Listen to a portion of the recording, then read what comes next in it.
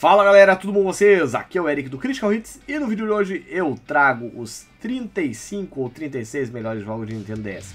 Eu não tenho certeza do número porque tem alguns itens que eu adiciono mais jogos como sequências ou jogos parecidos. Então deve ter dado aí uns 35 ou 36 ou talvez até mais, perto de 40. Antes de começar o vídeo, eu já peço você deixar seu like, se inscreve no canal, ativa as notificações do canal, me segue nas redes sociais e também comenta o vídeo aí, tá legal? Vamos lá! O nosso primeiro jogo da lista é Fire Emblem Shadow Dragon. Fire Emblem Shadow Dragon é um remake de um jogo para NES, e apesar de não trazer uma grande revolução à fórmula da franquia de Fire Emblem, ainda assim é um capítulo bem divertido para quem gosta do esquema clássico da série. Nesse jogo, você controla Marth, personagem que você provavelmente conhece graças a Super Smash Bros.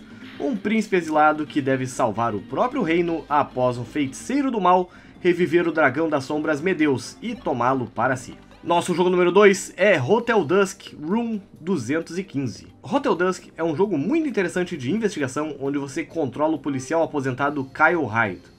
No jogo, ele deve resolver uma série de puzzles e reunir pistas dentro do Hotel Dusk, além de entrevistar os hóspedes desse hotel enquanto procura pelo antigo parceiro de polícia dele. Todo o mistério do jogo gira em torno do quarto número 215 e você certamente vai ficar intrigado jogando este game. Nosso jogo número 3 é Trauma Center Under the Knife 2. Trauma Center é um daqueles jogos perfeitos para mostrar por que a tela de toque do DS foi tão revolucionária para os jogos quando foi lançada. É com ela e com a Stylus que você vai operar os seus pacientes. Corte, pince, drene, suture e repita.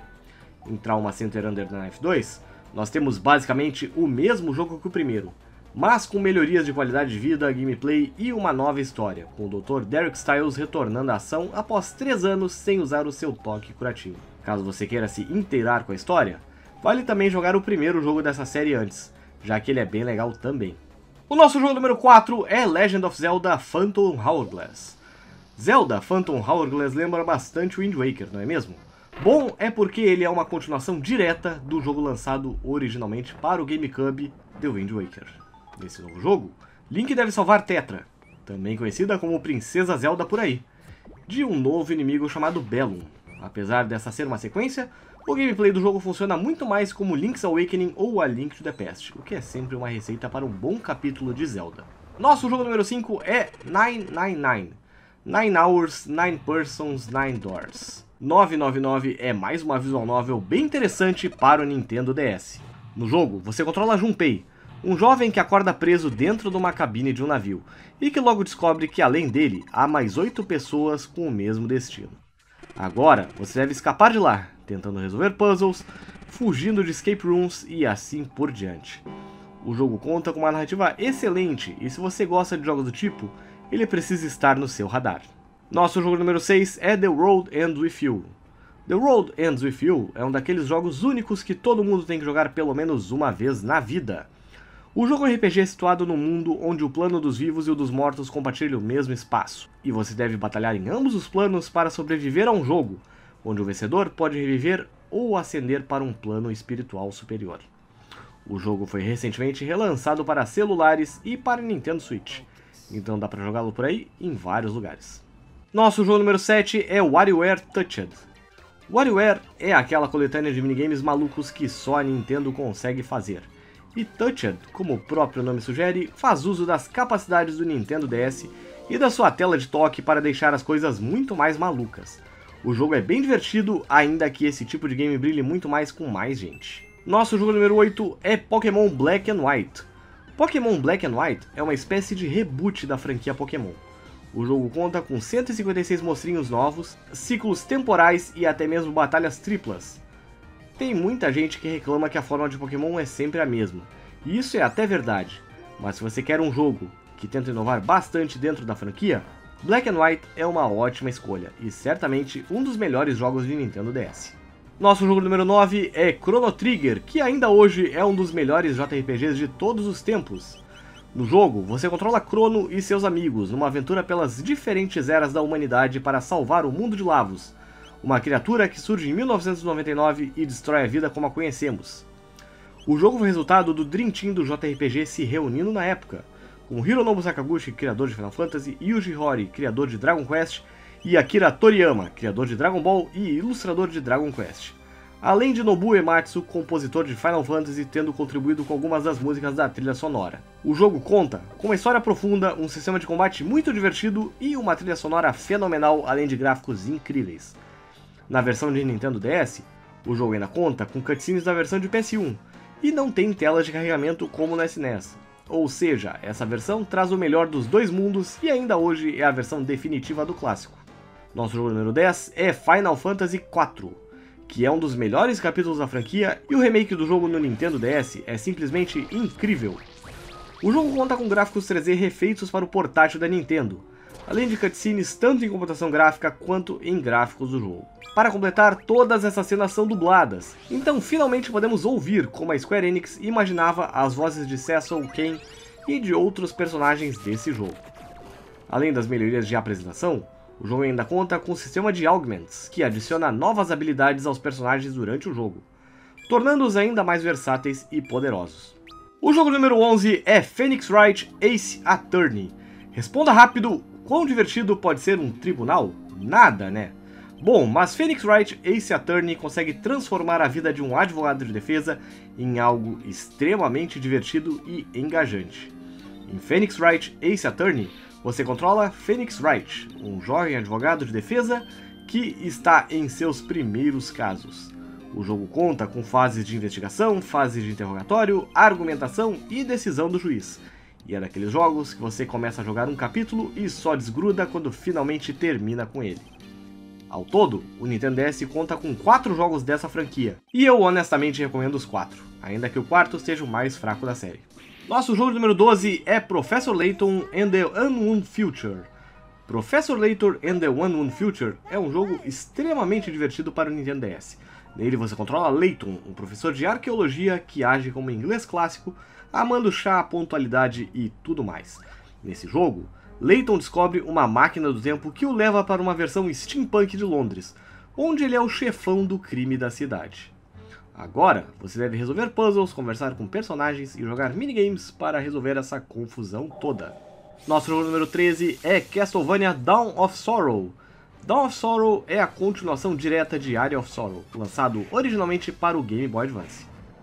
No jogo, você controla novamente Soma Cruz e deve mais uma vez explorar o castelo do Drácula enquanto adquire novas habilidades e enfrenta inimigos cada vez mais ameaçadores e sobe de nível.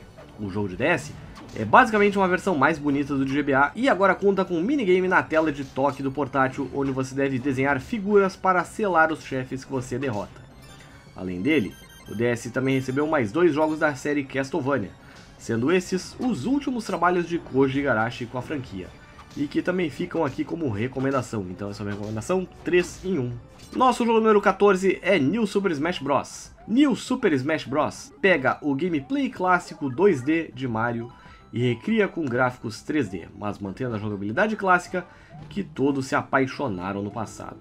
Hoje em dia, o jogo pode parecer bastante simples e não oferecer nada demais, mas na época fazia anos que a Nintendo não lançava um capítulo clássico do Mario e ainda hoje ele diverte bastante. Nosso jogo número 15 é Mario e Luigi, Bowser's Inside Story. Mario Luigi Bowser's Inside Story é o terceiro RPG de Mario lançado pela Nintendo.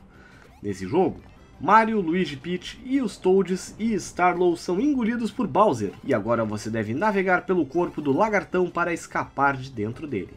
Mas eu já falei que isso não é tudo. Essa ação toda acontece na tela de baixo, já que na tela de cima você controla e vê o que está acontecendo com o próprio Bowser. Mais um daqueles jogos malucos de RPG que só a Nintendo sabe fazer. Nosso jogo número 16 é Advance Wars Dual Strike.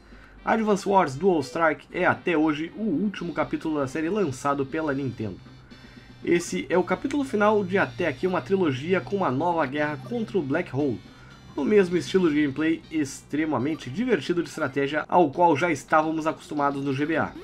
A grande novidade da versão de DS é que agora, em algumas missões, você deve batalhar em dois frontes diferentes, usando ambas as telas do portátil, e por isso o jogo se chama Dual Strike. Nosso jogo número 17 é Ozu Tatakai, ou Endan. Ozu Tatakai ou Endan é um jogo musical lançado apenas no Japão, mas que merece estar na nossa lista de melhores jogos do DS. Nesse game, você deve tocar na tela de toque do portátil conforme o ritmo da música para ir avançando pelas fases. Cada fase conta uma história, sendo uma mais engraçada que a outra, e conforme o seu desempenho na música, essas histórias terminam bem ou mal. Apesar de estar tudo em japonês, é bem fácil de entender como o jogo se desenrola e se divertir bastante com ele.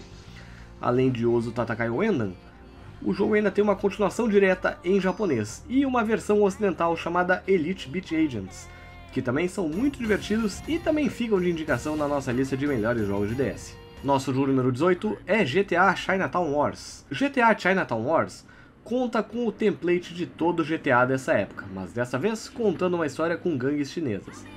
Diferente de Vice City Stories, o jogo funciona com a perspectiva de cima para baixo como em GTA 1 e 2. Afinal de contas, esse jogo foi lançado para o DS e ele não conseguiria aguentar um gameplay em terceira pessoa como nos GTA de PS2, por exemplo. Um capítulo bem interessante da franquia GTA e que certamente merece entrar para nossa lista de melhores jogos de DS. Nosso jogo número 19 é Mario Kart DS, que é um dos jogos mais bem sucedidos do portátil da Nintendo. E também pudera, ele é extremamente divertido. O jogo em si não muda praticamente nada dos Mario Kart clássicos, você corre por aí, vence corridas, joga cascos vermelhos nos adversários e assim por diante. Uma das coisas mais legais dele, entretanto, é a possibilidade de jogar com outros jogadores que ainda não possuem o jogo no Nintendo DS, usando a comunicação e Wi-Fi e era aí que o portátil brilhava e se vendia para quem não tinha o jogo ainda, ou quem não tinha um e via isso acontecendo. Nosso jogo número 20 é Final Fantasy Tactics A2, Grimoire of Rift. Final Fantasy Tactics A2 traz o retorno da consagrada franquia de RPG de estratégia ao Nintendo DS. No jogo, você controla o jovem Luso, que é transportado para a Ivalice por um livro mágico. Logo após isso acontecer, ele junta-se ao clã de Seed, e agora você deve cumprir missões e enfrentar outros clãs enquanto procura uma forma de voltar para casa. Nosso jogo número 21 é Pokémon Mystery Dungeon Explorer of Time and Darkness, que segue a mesma fórmula dos jogos de GBA, ou seja, você é um humano que se transformou num Pokémon e agora deve explorar os habitats dos monstrinhos, cumprir missões e enfrentar outros Pokémon em um combate por turnos. Não é o tipo de jogo que todo fã de Pokémon vai gostar, mas é bem interessante ainda assim. Nosso jogo número 22 é Dragon Quest IX, Sentinels of the Starry Skies. O Nintendo DS foi um portátil tão bem sucedido que a Square Enix decidiu simplesmente lançar o nono capítulo da série Dragon Quest exclusivamente para ele. Em Dragon Quest IX, Sentinels of the Starry Skies, o jogo conta uma história bem interessante num mundo onde seres celestiais e humanos vivem em harmonia, que está prestes a ser ameaçado pelas forças do mal. Quem procura um JRPG e não está afim de jogar Final Fantasy, certamente deveria conferir esse. Nosso jogo número 23 é Radiante História, que é mais um ótimo JRPG lançado para o Nintendo DS. No jogo, você vive a história de Stock, um jovem do continente de Vancure, um continente com duas nações em guerra. Você recebe White Chronicle, um tomo capaz de navegar por múltiplas linhas do tempo para evitar que o país dele acabe virando um deserto. Dependendo das linhas do tempo em que você viajar, o jogo traz finais diferentes, oferecendo um fator replay bem interessante. Nosso jogo número 24 é Pokémon Heart Gold e Soul Silver. Pokémon Gold e Silver talvez sejam os melhores capítulos da franquia bilionária da Nintendo. E Pokémon Heart Gold e Soul Silver são excelentes remakes desses jogos. Assim como no caso de Fire Red e Leaf Green, pouco foi modificado do gameplay, com os jogos originais sendo trazidos para as engines mais atuais de Pokémon e as criaturinhas sendo rebalanceadas. Ainda assim, vale muito a pena jogar esse jogo pela primeira vez ou mais uma vez caso você já tenha feito no Game Boy Color. Nosso jogo número 25 é Nintendogs, que é outro daqueles jogos que funcionam muito bem para vender o Nintendo DS para quem não conhece o portátil. O jogo é bastante simples e nele você deve cuidar de um cachorro, fazer carinho, brincar com ele, dar banho nele e tudo isso usando a tela de toque do portátil e a stylus. Nada de muito revolucionário, mas uma forma bem interessante de mostrar como uma tela de toque pode trazer outras possibilidades de gameplay. Nosso jogo número 26 é Contra 4, que traz todo o gameplay clássico da série de volta para o portátil da Nintendo. Para quem conhece a franquia e nunca ouviu falar desse jogo, você vai encontrar a mesma ação e tiros voando pela tela como sempre, alternando fases com outras propostas para dar uma variada no gameplay. E esse certamente é um ótimo jogo para nossa lista de melhores jogos do DS. Nosso jogo número 27 é Resident Evil Deadly Silence. Resident Evil é um clássico atemporal e a versão de Nintendo DS dele é bem interessante. Lançada após o remake para o GameCube, o jogo incorpora ao gameplay clássico os Crimson Heads da versão do remake, e uma série de momentos em que você deve usar a tela de toque do portátil para sobreviver, como uma luta corporal com a faca contra o zumbi e um minigame onde a Jill deve apertar os botões com a faca enquanto ela tenta não arrancar um dedo da própria mão. Essa, aliás, foi a última vez que Resident Evil original foi relançado para um console com novidades. Nosso jogo número 28 é Final Fantasy III, que é o primeiro lançamento oficial desse capítulo no ocidente. E a Square Enix não deixou por menos, recriando todo o jogo em 3D, reformulando todo o sistema de jobs e ainda por cima dando novas histórias e visuais para os protagonistas do game. No fim das contas, essa ainda é a versão definitiva do jogo a ser jogada. E ela também está disponível no PSP, Android, iOS e PC. Nosso jogo número 29 é Viva Pinhada Pocket Paradise. Viva Pinhada Pocket Paradise é uma versão portátil de Viva Pinhada, um jogo de Xbox 360 onde você tem que cultivar um jardim. A ideia é basicamente essa, com você melhorando ele cada vez mais, atraindo novas pinhadas para o seu jardim e até mesmo trocando pinhadas com outros jogadores, usando as capacidades de Wi-Fi do DS. E para fechar nossa lista, nosso último jogo é Dr. Kawashima's Brain Training que é mais um jogo muito interessante e possível apenas no DS. Nesse jogo você deve treinar o seu cérebro para deixá-lo cada vez mais ágil. E isso é feito resolvendo contas, acertando desafios e charadas e tentando cada vez deixar o seu cérebro mais e mais ágil e afiado. A ideia do jogo é que você jogue ele alguns minutos todos os dias. E com o tempo você pode notar a sua evolução. Se isso vai te deixar mais inteligente, eu não sei. Mas que o jogo é bem único e bem interessante, isso com certeza ele é. Bom, galera, eu fico por aqui. Espero que vocês tenham gostado do vídeo de hoje. Peço perdão pela minha voz. Eu tô doente faz mais de uma semana já e a minha voz tá ficando rouca. Eu tô tossindo que nem um louco. Enfim, a gravação não ficou das melhores, mas foi o que deu pra fazer pra não falhar o vídeo essa semana, tá legal? Curtam o vídeo, sigam no canal, ativem as notificações, deixem seus comentários e indiquem o vídeo aí para os amigos ou amigas que gostam do DS e estejam procurando indicações de jogos para ele, tá legal? Um abraço!